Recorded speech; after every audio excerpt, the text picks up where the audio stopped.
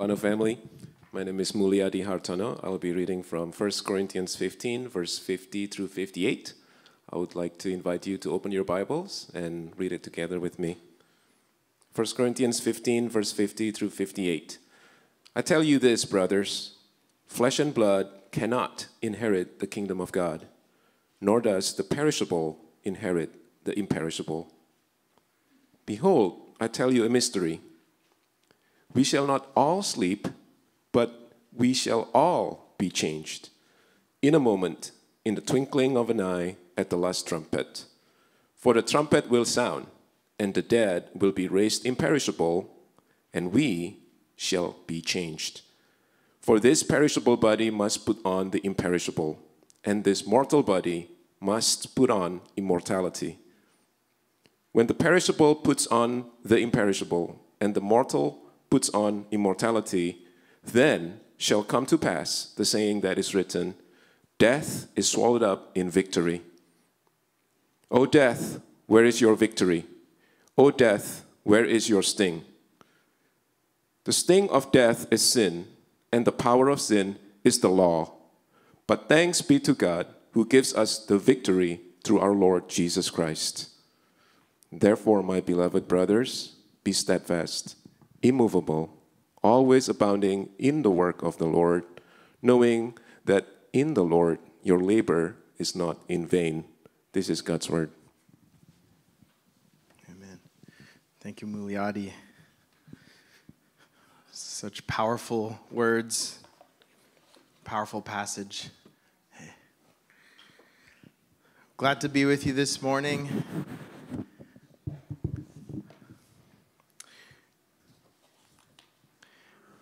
I, I get to, to preach on um, passages that have musical instruments, so that's really fun for me.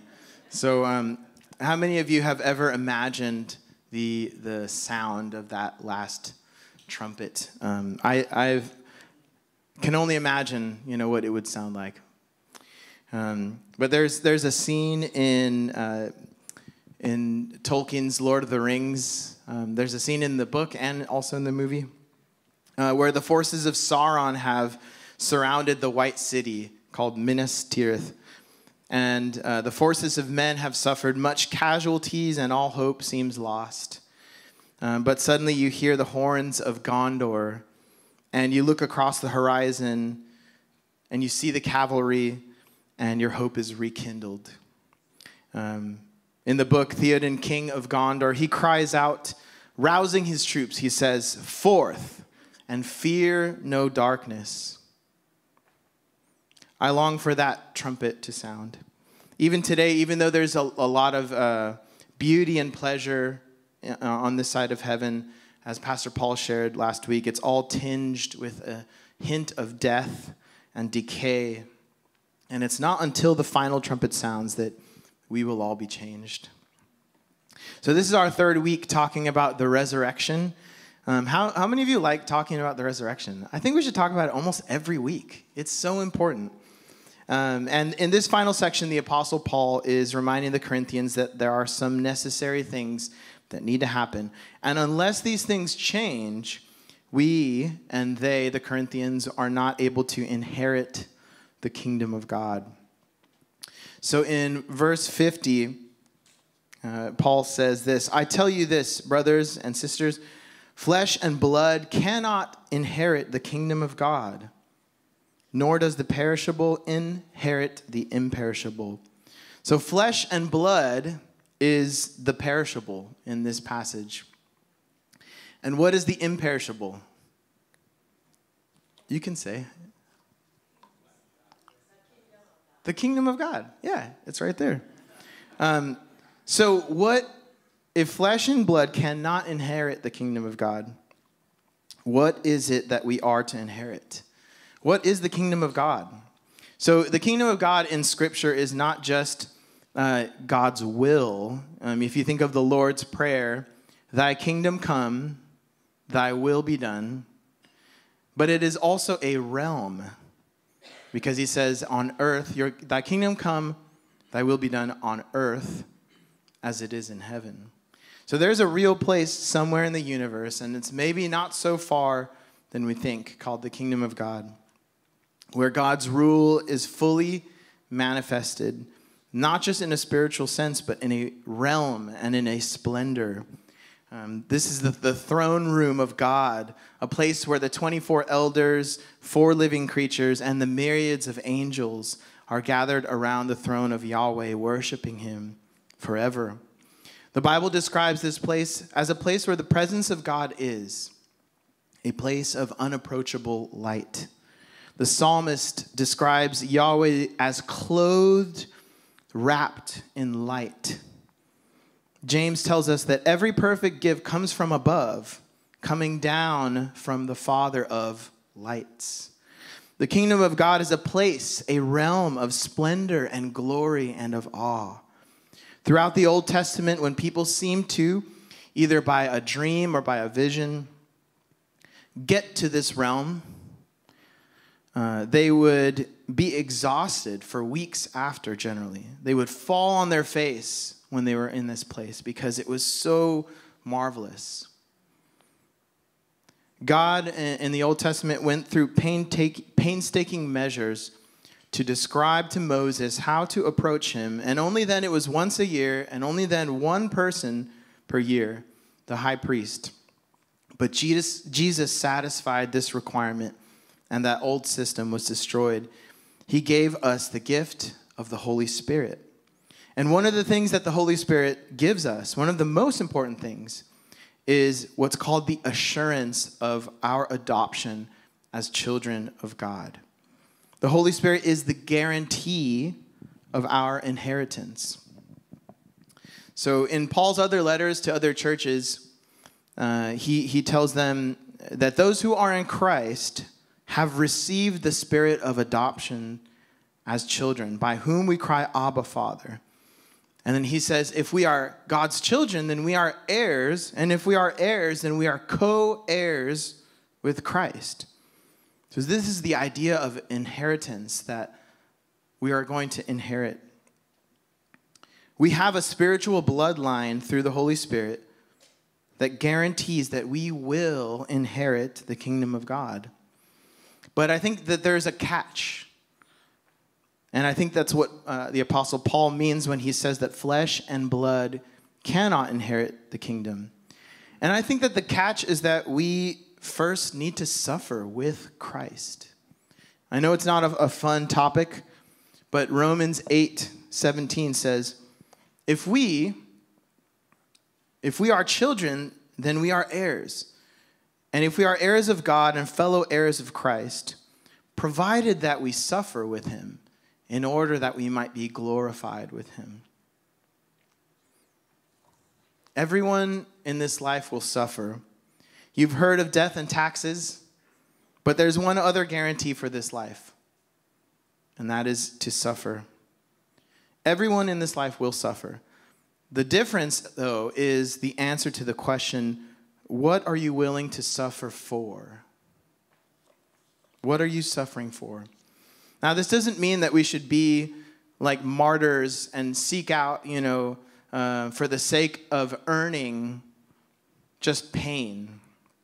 Paul was clear in his earlier chapter in Corinthians, uh, 4, 1 Corinthians 13. He says, even if you give your body, offer your body to, to the fire, and if you don't have love, it doesn't mean anything. So it doesn't mean that we should just go out and suffer. Flesh and blood is the perishable, and the kingdom of God is that which is imperishable. And I, we're going to say more about this in, in a little bit later. So Paul continues in verse 51 Behold, I tell you a mystery. We shall not all sleep, but we shall be changed in the moment, in a twinkling of an eye, at the last trumpet. For the trumpet will sound, and the dead will be raised imperishable, and we shall be changed. For this perishable body must put on the imperishable, and this mortal body must put on immortality. I don't know if you could see it. I love icono- iconography and shapes, and I'm a very visual person. Uh, but can you see the the angel? Yeah, the trumpet. Um, the wings are kind of on the left there. Um, the halo. I don't know if do, do if angels actually have halos, but I don't think they do. but the Christmas angels do, I think. um, so Paul says this is a mystery. We're not all going to die. Not everyone is going to die. But regardless if some people do die, uh, if they are in Christ and they've died before his return, they will be changed at this last trumpet. So, right now, the word that Paul uses for those who have uh, died and who are in Christ are they are asleep. But there will be a moment where those people will be awakened and raised from the dead. I like how uh, in the last couple weeks we there's a lot of metaphors for death and life, and um, both Paul and Jim brought up the metaphor that was in Scripture of a seed, right, that will be planted in the earth in order for life to spring forth, and Christians who have died will return to the earth only to be raised from the dead at Christ's second coming. So, uh, a little bit nerdy here, but how many of you are nerds out there? I like, I'm a nerd, so you can raise your hand. um, I tried to learn about entropy. It got very complicated, but I, I, I, I wrote this down. I said, Death is a kind of equilibrium for human life. It is the highest point of entropy for a human soul. But the mystery that Paul is speaking of is that there is a life source outside that closed system, a person, the triune God, who at the resurrection will literally exchange the physical flesh and blood with a new kind of material, what Paul calls imperishable. It will be a great exchange. We're all going to get upgraded. For all my computer friends, Healthy Body 2.0. With new software, but instead of just new software, there's going to be new hardware. Does anybody, does everybody know what that is? I mean, I don't want to assume, right? But the software is like the programming, the coding, the stuff inside, and the hardware is the stuff outside the programming, uh, the, the things that, that make it up. We're going to be made of new spiritual stuff, not just the programming, but the stuff. We're going to be changed. But what's really cool is that this change is not just like a caterpillar cocooning and turning into a butterfly. It's actual new things. It's new material, new substance and essence that is heavenly.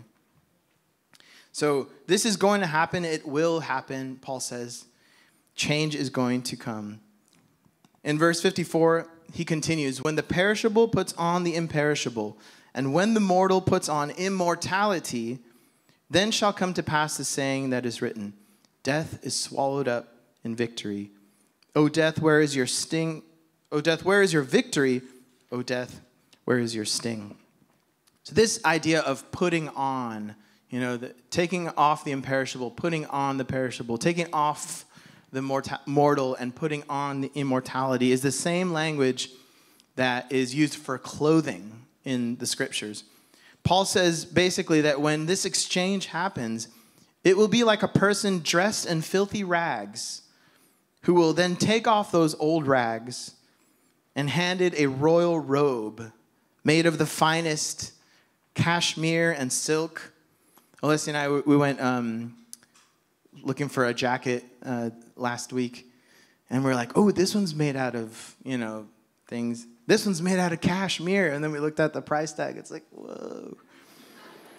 So taking off of the old rags, putting on a royal robe made of like the, if you can imagine, the finest cashmere and silk, or, and then given a crown and a signet ring with majesty. Uh, for my nerdy friends who live near Cal, in 2021, Professor Leigh of the University of Manchester was given the Guinness Award for the finest fabric. Not finest like in terms of rare, but finest in terms of small. Uh, up to this point, the most, the world's most fine fabric was this. Guess anybody want to guess where it was from? I heard something. China, close. G- Egypt. Uh, yeah. so, I'm like Egyptian cotton, you know, Egyptian linens. Uh, okay, maybe it's not a thing. Um, there, guess how much thread count there was? The thread counts. You know, if you go to Bed Bath and Beyond, you can get a nice sheets for Two, uh, you know, I was a budget guy, so 200. I think we upgraded to 400 recently. This one has, up to this point, it was 1500, 1500. So, but this new discovery in Manchester, it's called molecular fabric and has a thread count of 40 to 60 million threads per square inch. Million per square inch, yeah. Uh, there's going to be an exchange that happens. And it's going to be something that we don't understand. Uh, when this exchange happens, there's going to be, Paul says, these two prophecies that are fulfilled. The first one comes from Isaiah 25. And if you have time this week, go and read that chapter. It's so amazing.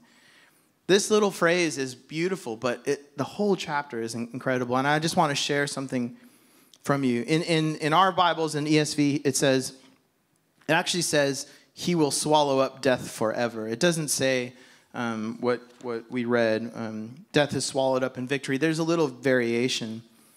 Um, and Paul's probably quoting from either a Greek version of the Old Testament where death is destroyed in power. But the context of the passage is beautiful. So listen to this God, it says, has been the shade in the middle of the scorching sun. He is a stronghold to the needy and those who are in distress. There is, Isaiah paints this picture of the breath of the ruthless is like a storm beating against the wall, beating and derision and oppression and threats. But Isaiah prophesies that it will not continue forever. The people then are transported on this mountain and it says, God will swallow up. It actually uses the words shroud or sheet or veil. I know we were laughing about this stuff, but it, it's in there old in the Old Testament. He's going to swallow up the sheet that is spread over the nations. And maybe it's some molecular fabric, I don't know. Then God's people are taken to the feast on top of this mountain. Mount Zion, where there's food and wine, and there will be representatives from all nations. And we get this famous passage He will wipe away every tear from all their faces. Their blame, their shame, their guilt. God will prove himself worth waiting for. And I know that there are some of us that are struggling now, going through hard times. In Hosea chapter 13, this also has vivid imagery. It says, Death, where are your plagues? And it's kind of weird. Yeah, it, it, if you go back there and find it in your English Bible, it doesn't say, Oh, death, where's your victory? It says, Death, where are your plagues? So I think Paul was, again, using another version, maybe the Greek or another version of the Old Testament. But death is kind of is giving given different attributes of a person or of another metaphor that we can think of.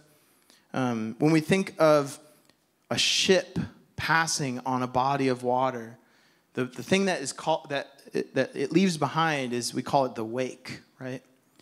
So I think sometimes what the what this author is trying to say that death is kind of passing by, and in its wake is plague and destruction.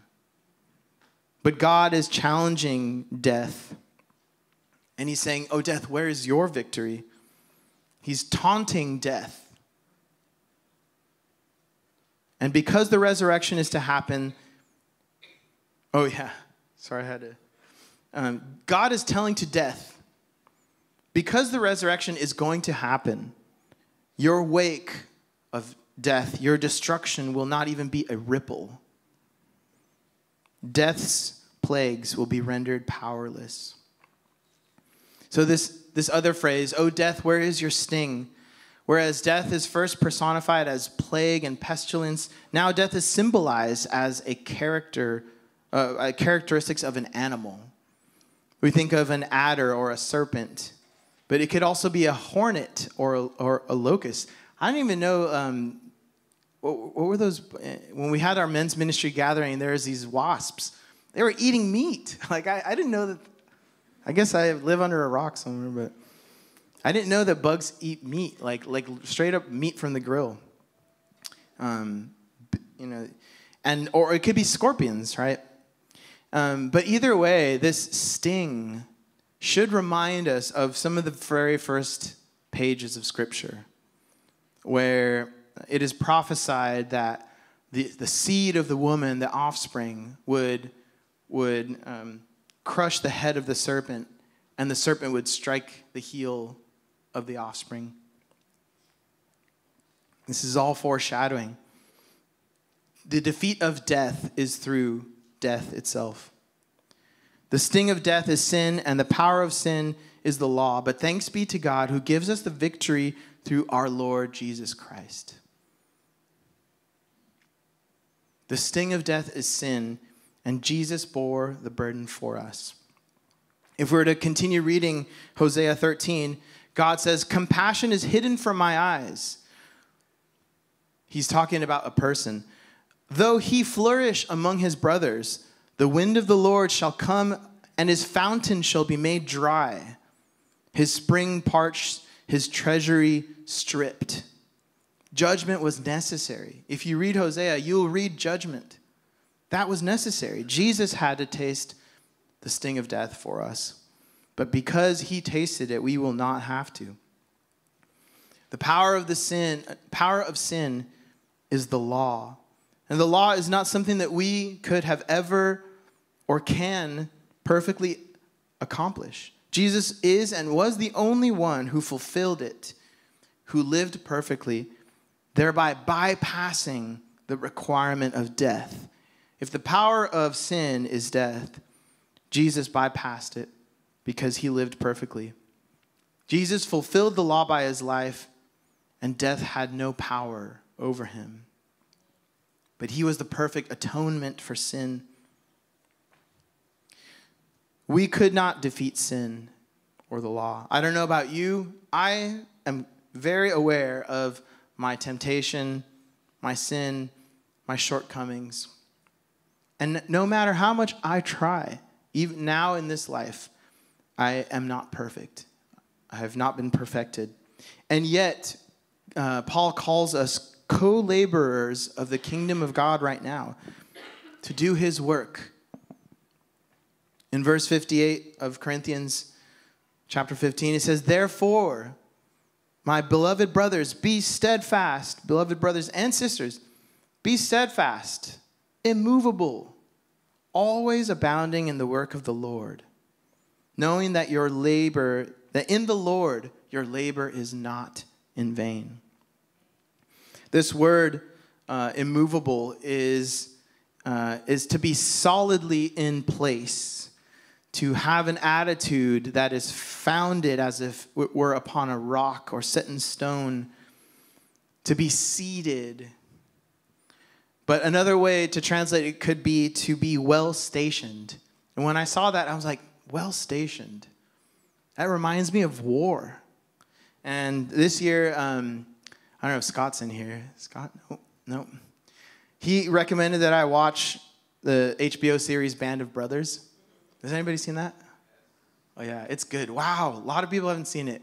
I recommend it. It's not easy to watch, but it's kind of, it'd be good to do in your life at some point, I think. Yeah. Um, so the, the, the, the show Band of Brothers follows this, uh, this, this, these, um, the 101st Airborne. They're called the Easy Company. They're para, they are paratroopers, so they, they, they're the first over the enemy lines. They drop them, and they help, you know, tactically to, to start, um, to, to help uh, the, turn, turn the war. But there, there, there's this one part in, this has happened, this happened during World War II and they were under the, the leadership of Major Winters. And at some point in World War II, they, they are in France in this place called Bastogne. And you may have heard of the Battle of the Bulge. It took place here, where it was the army's greatest, it's like greatest struggle against Hitler's last chance for victory. Hitler was basically, he knew he had one effort and he forced all of his power into and troops into this one location that was super tactically important called Bastogne. And here, the Easy Company, lot, along with a lot of other people, they, uh, I'm just thinking of like, because you got to watch the HBO series. They interview the people who are actually there, which is really amazing. You know, uh, the, the real people. Um, they got pummeled, you know, they, they suffered loss and wounds, but eventually Hitler was denied and the war turned the tide. I think that's what Paul's saying. Be immovable, be well stationed. War is going to come. Uh, remain unshifting and unchanging in the waves and the wind of evil in this life. The waves and the winds of hardship come in many ways false teaching, false promises, false hopes, false, tr- false truths, dead ends, false saviors, but also hardship and affliction and mockery for our faith. But Paul says, abound in the work of the Lord. It's God's work, not ours. Uh, I like to call him my boy D. Willie, Dallas Willard. uh, he says some really good things and wrote some really good things. And he says that we must invest our lives in doing what God is doing. Invest our lives in doing what God is doing. And, and I love that we can go back to 1 Corinthians 13. It, the motivation is not earning. We're not earning God's love. The motivation is love that we've received.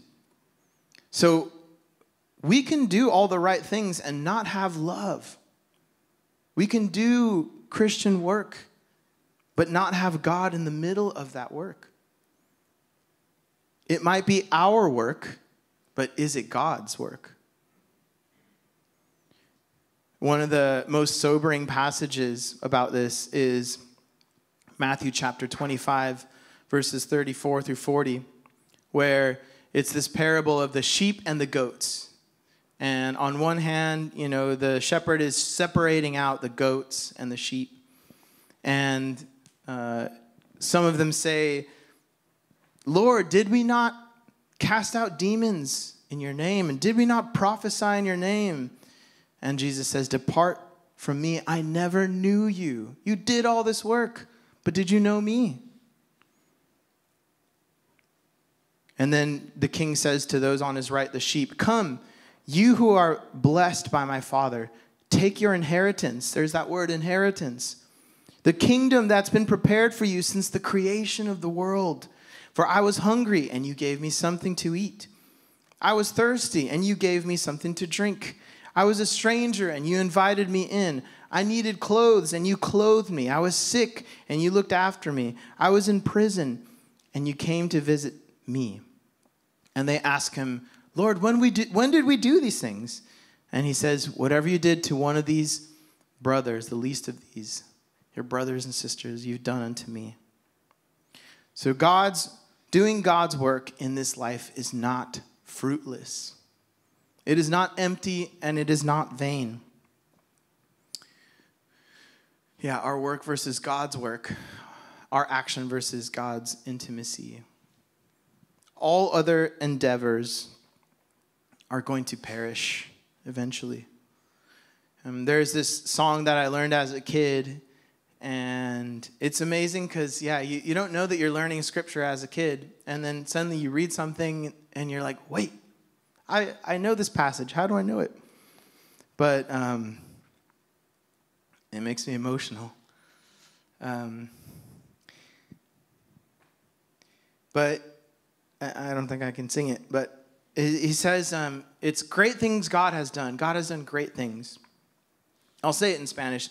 Los que sembraron con lágrimas, con regocijo segarán. Which means those who have planted in tears, will harvest with shouts of joy. And Solano, you may be weeping as you plant your seed now for the kingdom of God, but you'll be singing at the return, at the harvest. You'll be singing for joy. Uh, Tim Keller, at toward the end of his life, he said he you know he found out that uh, he was having cancer, and so Oh, I guess I had it up there. Sorry. Matthew 25. Tim Keller said this I never, after finding out cancer and it changing his life and his prayer life with his wife, he said, I never want to go back to the prayer life I had before cancer.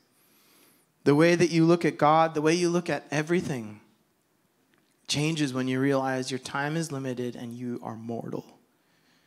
So maybe God is wanting you to end your work that He hasn't called you to and to start the work that He's called you to do. Paul is saying it's going to be worth it. It's going to be painful.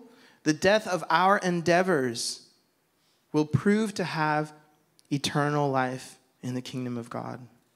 Death to life. Death of our work leads to death of God's uh, to life of God's work. Or maybe today God wants to encourage you and say, "Keep going. Hey, I see you're doing the, wor- the work of the Lord. Keep going. But do it in my strength." God just wants us to do. So, Solano, let's live today as we as if we are to inherit God's kingdom tomorrow. So, when the last trumpet sounds at the beginning of our eternal life, the King of the universe is going to strip us from our old rags and replace them with his royal robe and crown and invite you to reign and rule with him. Are we ready for that? Are we ready as a church, Solano? So, we're going to have a, a, time of responding in prayer. And as we do that, I would love to have this slide up there. Uh, the prayer team is going to come up after we open the communion table. But I wanted to share some comforts and some challenges. And I pray that the Holy Spirit would be speaking to you specifically these are just, this, this is like a shotgun. But the Holy Spirit might be lasering in on something that He wants you to, to change, or maybe to encourage you. So, one comfort is, and I put it in God's perspective, if you're going through a hard season right now, one comfort is, I, God, will wipe away all of your pain, your grief, and your sorrow one day.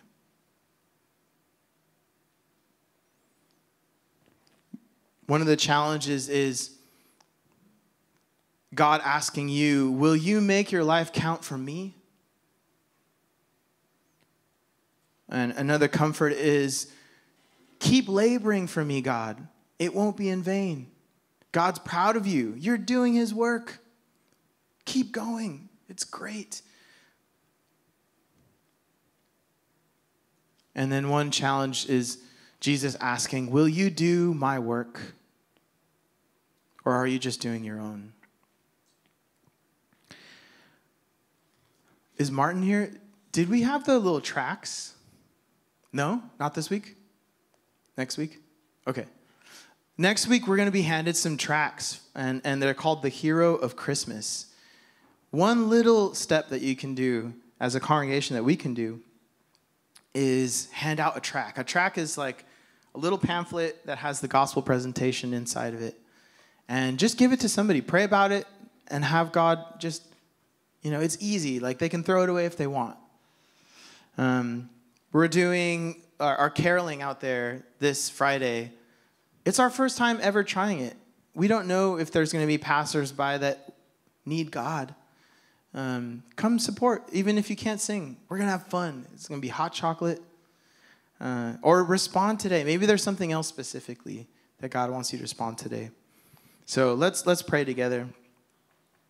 Um, Lord, you know us intimately, God. You know uh, if we are on the front line. Um, you know if we're on the sidelines, God. But um, we're grateful that you are not done with our our lives yet, and we want to inherit your kingdom, Lord, one day.